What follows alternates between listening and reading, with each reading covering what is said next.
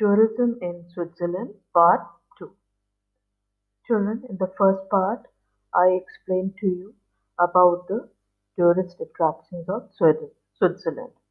Now, further, I'm going to explain about more places which are visited by tourists when they are in Switzerland.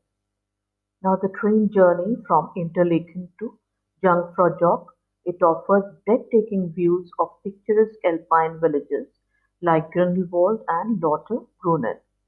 Swiss cities like Zurich, is also the largest city of Switzerland and also its banking capital is a cultural hub. Geneva, it houses the European headquarters of the UN and other historic buildings which are worth visiting. Bern is the capital city of Switzerland and it houses the Parliament building as well as many museums, art galleries, historical landmarks to explore, and various markets. Its medieval old town is a UNESCO World Heritage Site.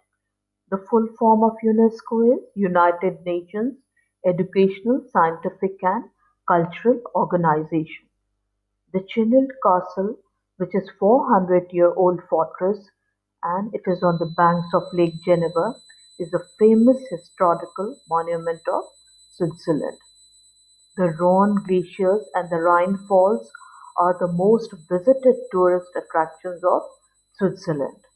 Lucerne, it is this town is famous for its music, concerts and landmark medieval structure.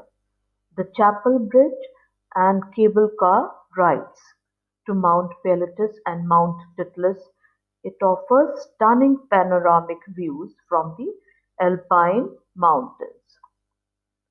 Now the souvenirs from Switzerland.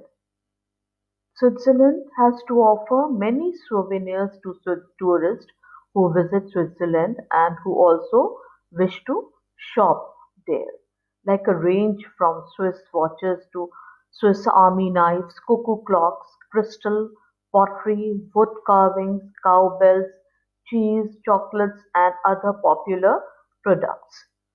Tourists can also indulge in local cuisine, the local food, by sampling raclette, which is cheese grilled over slow fire, fondue, which is melted cheese served over an open flame, and rosti, which is a dish made out of pan-fried grated potatoes.